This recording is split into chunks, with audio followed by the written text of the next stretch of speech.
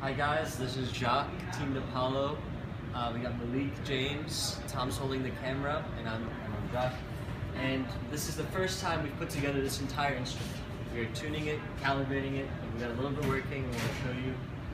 So, turn it on with the button on the keyboard. It starts up.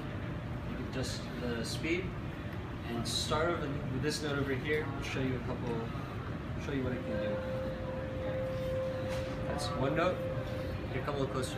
Here. See, that's the that's coming from here.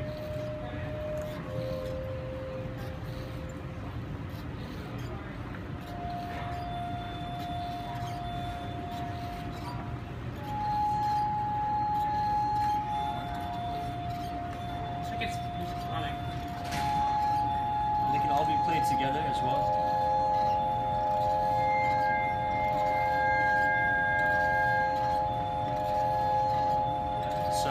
stick that in your pipe and